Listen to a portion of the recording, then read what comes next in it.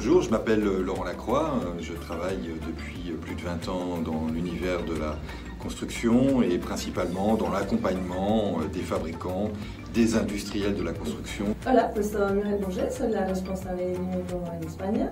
Pues yo la verdad, yo con nombre de acento soy francesa, aunque es cierto, bueno, de madre mexicana, padre francés, marido español, o sea, y también por una empresa francesa. Hello, uh, my name is Wang. I'm in charge of the business development for Southeast Asia in BIM&CO. Uh, actually, I've been um, working for more than 10 years to help manufacturers and AEC firms uh, to do the digital transformation. Uh, I've been working for Southeast Asia, uh, the market since three years. Llevo eso, cinco años con la empresa, empecé pues todo el proyecto sola, la verdad es que sin formación, además es cierto que ha sido todo un reto que, que nunca pensé que lo podía llevar a cabo, yo creo que también tampoco en este momento me daba cuenta de todo lo que me iba a venir encima y fue pues, bueno es, que sigue siendo maravilloso porque aprendes, aprendes muchísimo, yo creo que de hecho en esos cinco años estoy aprendiendo muchísimo más que en 10 años en un estudio, bueno.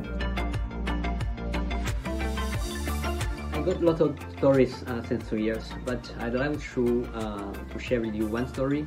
It's uh, with China State Hong Kong. So during the first meeting, I met Simon An, uh, the BIM director from China State Hong Kong. He understood quickly and totally our technology and also what we are trying to do in the future.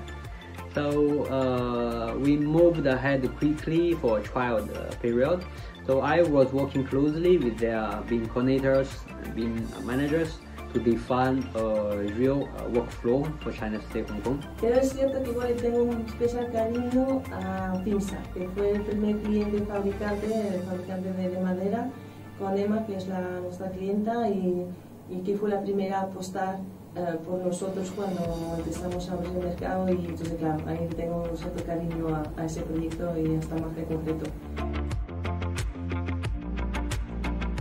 C'est la combinaison de mon parcours à la fois dans l'univers de la construction, dans l'approche et la proximité des fabricants, associé au digital avec des outils digitaux divers.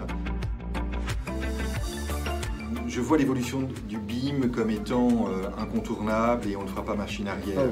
Oh, uh, I have 100% confidence about the BIM.